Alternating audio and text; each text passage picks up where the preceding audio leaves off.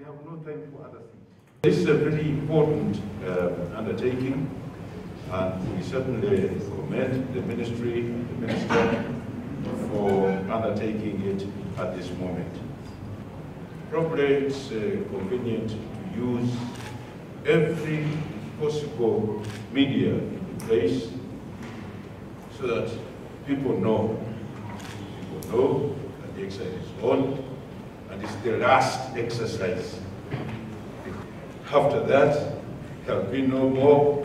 What is going to happen is the uh, retirement. What we are doing is a very important strategic intervention that the NRM government has taken to handle the people who had sacrificed to put this country the way it is today.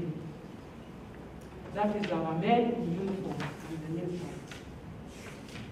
Sacrificing all their life to work for this country. It is the mandate of the government that their benefits should also be paid to them.